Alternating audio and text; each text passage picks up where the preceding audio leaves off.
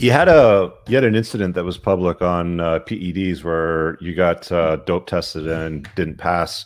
Um, I watched an interview with that, and you were talking about how you really didn't know what the hell you were doing at the time, and just didn't dose it right, or you just kind of like you know took a stab at it for yourself. The interesting thing though is that I've noticed with testosterone is it doesn't make that much of a difference, you know, as you get older. Like when I was 25, I could I could easily bench press three plates. Like now it's like two plates, you know, if I'm lucky and I'm on TRT, right? So it's not like it makes a huge difference, but mm. like how far over the limit did you test? Like was it just marginal? Like when it ended up happening?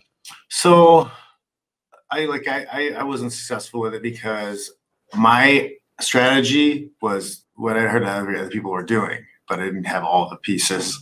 Is you would replace your normal testosterone levels with synthetic testosterone. So Mhm. you do 100 to 150 milliliters per week, um, which is about half of what a normal doctor's uh, prescription is for it.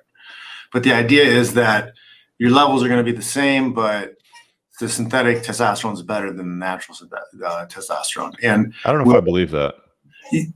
yeah, it, I mean, I was stronger when I was in my 20s natural than what I am today.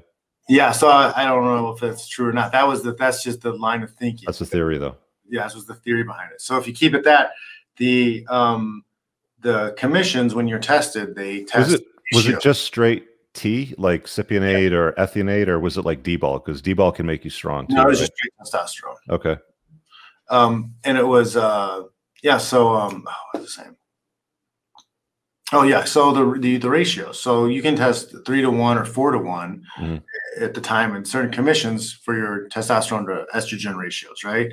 Which is your normal human is one to one usually anyway. So it gives you a pretty good range uh, to be on that synthetic, and as long as you're within that range, you pass and um, you're fine. But I didn't know what I was doing. So you're supposed to come off of the injections like three weeks prior, and then you're supposed to use a topical, I guess. Well, I didn't have a topical, and I didn't know, and I used injections until like a week out. So I, I my ratios came back nine to one. So after they did that, I was flagged, and then they tested for synthetics.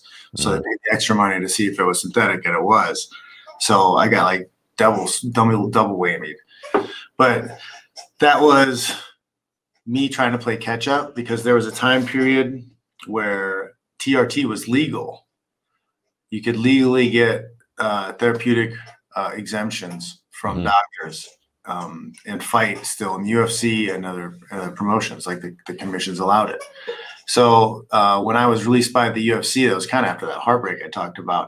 I, I was like, why am I why am I making less money than these guys and they're cheating? Like, what am I what am I really gaining by by not doing what everybody else is doing? So I I Mhm. rationalized myself back into it. But like I had the one fight, I didn't feel any better. I could eat whatever I wanted to and look awesome. Mhm. That was nice. But like my cardio wasn't better, nothing was better. And then the injection sites hurt so bad I couldn't I couldn't grapple at all.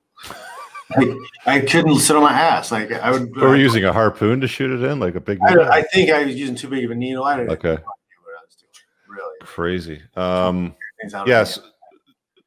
So is that common? You know, with fighters, like, do they use PEDs, but just at levels where it's like looks natural?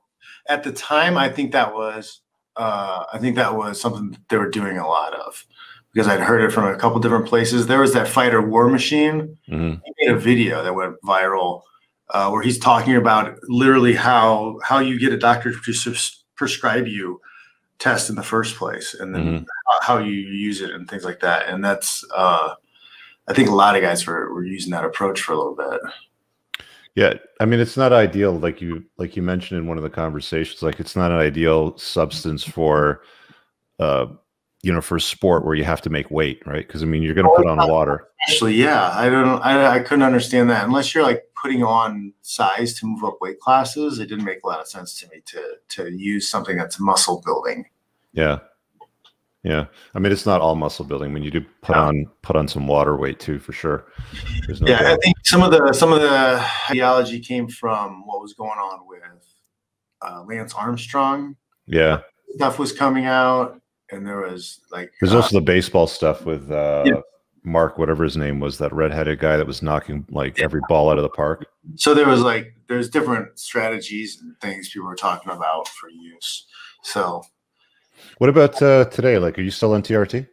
no, so I haven't used since then, and I recently did that Let's Get Checked thing online, and Yeah. I, I did a video on it like on my channel, official Jon Fitch. But I'm at 567 now, Hmm.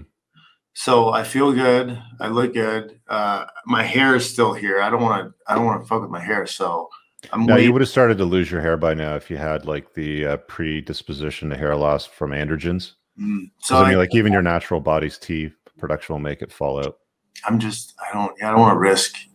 I could. Yeah. I could. I could probably get shredded if I was on it, but uh, You probably wouldn't get as shredded as what you are right now. Like you're pretty ripped. I've seen some of the pictures you've posted on Instagram, and you're pretty lean. Because I mean, as soon as you go on T, like what ends up happening is you put on water weight. You know, Mhm. like immediate, like like probably in about eight to ten weeks, I probably put on about ten pounds of weight, and it wasn't all muscle for sure. Like I mm, went from 198 to 208, like quickly. I've been. Uh, yeah, I've been eating. I've been trying to put on weight. I'm trying to get bigger. Yeah. I'm like at 220 right now. I don't want to get like fat though, so I'm trying to lift and get Well, big. it's big for six foot tall if you're 220, man. Yeah, it's a pretty. It's a good size. I just. uh I want to be a solid 220 and lose a little bit more of the. I got. I, I pack it on the side. I got like the, the camel humps on the side. Love love handles. Yeah. That's what. I, that's where I put on the weight first. Well, I mean, you got the core, right? You got to have the tight core to take all those hits. You're built that way now.